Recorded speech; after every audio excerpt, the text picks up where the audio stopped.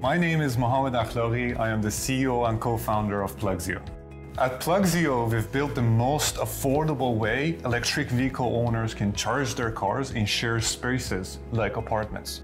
Electric vehicles are like smartphones on wheels. They even come with their own charger that can be plugged into any outlet.